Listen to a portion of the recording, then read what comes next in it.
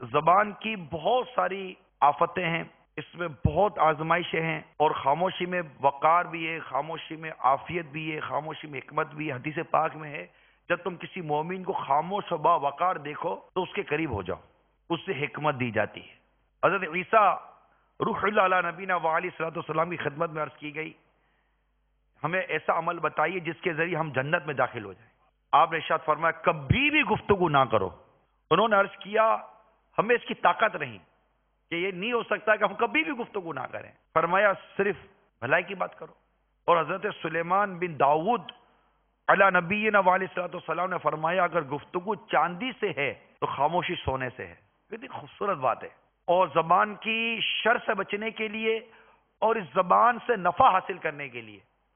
اور یہ کہ یہ زبان جہنم میں نہیں، ہمارے لیے جنت میں جانے کا ذریعہ بنے۔ دعوت اسلامی نے ہمیں ایک اصطلاح دی، ایک ٹرمالوجی دی، اور وہ ہے زبان کا کفل مدینہ۔ یہ ایک ٹرمالوجی ہے، ایک اصطلاح ہے دعوت اسلامی کی، کفل مدینہ۔ یہ کوئی نئی اگرچہ لفظ نیا ہے، تو دعوت اسلامی نے ایک نام دیا ہے کفل مدینہ۔ کیا نام دیا ہے؟ کفل مدینہ یعنی مدینے کا تالا۔ کہ زبان کو کفل مدینہ لگا دو، کہ اس زبان سے خیر نکلے، فضول و شر نہ نکلے۔ لہذا زبان کے معاملے میں ہمیں بہت احتیاط کرنی چاہیے۔ زبان سے بہت زیادہ آفتیں نکلتی ہیں۔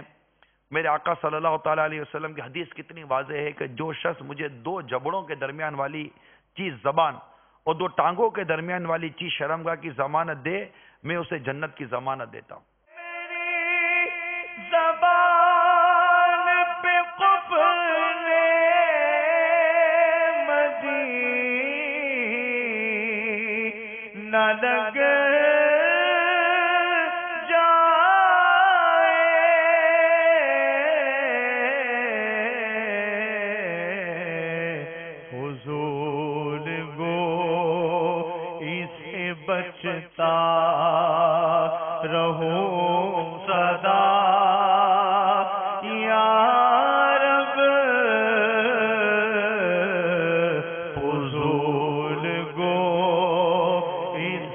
بچتا رہو سدا